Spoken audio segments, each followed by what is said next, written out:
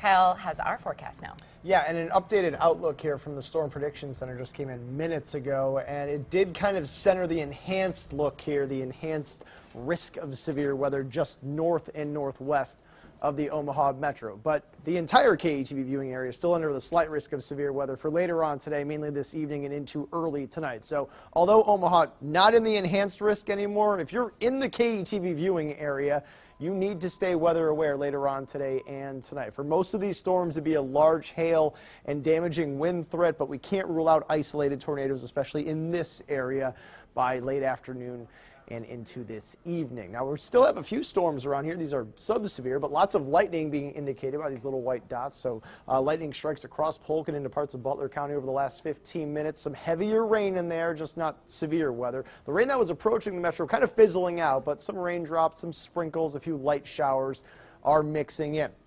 After this pushes out, still a lot of clouds expected through the rest of today, which may not warm us up quite as much. Likely a factor in that updated outlook uh, from the Storm Prediction Center. Either way, we'll still warm up quite a bit. There is a lot of moisture in the air. We'll have this frontal boundary set up just to the north of the metro by late afternoon and evening. So the ingredients are there for some severe thunderstorms to finish off the day. Still a lot of clouds at Eppley, 70 degrees with a southeast wind close to 10 miles per hour, mid to upper 60s and low 70s across most of the region. So no clear-cut front here showing up, at least on the temperature map, but uh, there is kind of this stalled out frontal boundary cutting through parts of central and eastern Nebraska right now.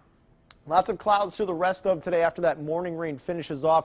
Then by late afternoon, early evening, we watch out mainly northeast Nebraska is where these storms are expected to kind of initiate, but notice they work into a big cluster here the rest of tonight. So heavy rain also an issue along with the possibility of severe weather. More clouds as we head into Sunday morning. Could get some breaks in the clouds late in the day. Cold front, a weak one at that, will work its way to the south of the metro. A few showers and storms will line up along that. So I did leave a chance of a shower storm even for the metro in the forecast for tomorrow. But high pressure builds in behind this Monday, Tuesday, and Wednesday look fantastic, at least if you're a uh, fan of summer weather. Lots of sunshine. Look at these highs. 88 Monday and Tuesday, 87. A few extra clouds on Wednesday.